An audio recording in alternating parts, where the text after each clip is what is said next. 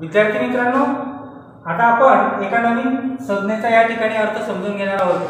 ती संज्ञा आहे विश्वसंच आता ज्या वेळेला आपल्याला काही संच दिलेले असतात आणि त्या ठिकाणी इतर सर्व संच हे एकाच सं संचाचे उपसंच असतात त्यावेळेला त्या संचाला त्या इतर संचासाठी किंवा त्या इतर संचांचा विश्वसंच असं म्हटलं जातं. आता बघा या आकृतीमध्ये मी काही चौकोन घेतले एखादे आता हा जो बाहेरचा चौकोन दिसतो तुम्हाला तो आहे भारतातील रहिवासी. त्याला नाव दिले आपण ए. म्हणजे संच ए हा भारतातील रहिवाशांचा संच आहे. त्याच्या आतमध्ये मी महाराष्ट्रातील रहिवासी याचा संच घेतला आहे त्याला नाव दिले आहे बी. आणि त्याच्या आतमध्ये जो चौकोन दिसतोय तो आहे जळगाव जिल्ह्यातील रहिवासी ज्याला नाव दिलं आपण संच सी. आता या ठिकाणी बघा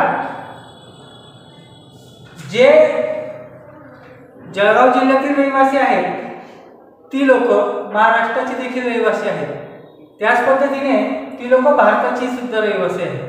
म्हणजे या ठिकाणी भारतातील रहिवासी हा मुख्य संच आला आणि महाराष्ट्रातील रहिवासी आणि जळगाव जिल्ह्यातील रहिवासी हे त्या संचाचे उपसंच आहेत.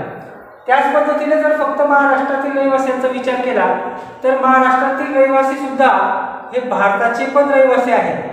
म्हणजे महाराष्ट्रातील रहिवासी हा जो संच आहे हा सुद्धा भारतातील रहिवासींचा संच याचा उपसंच आहे. म्हणजे थोडक्यात भारतातील रहिवासींचा जो संच आहे तो इतर दोन संचांचा संचांचा किंवा इतर दोन संच हे त्याचे उपसंच आहे म्हणून ए हा इतर दोन संचांचा म्हणजे बी आणि सीचा विश्वसंच आहे असं आपल्याला म्हणता येईल.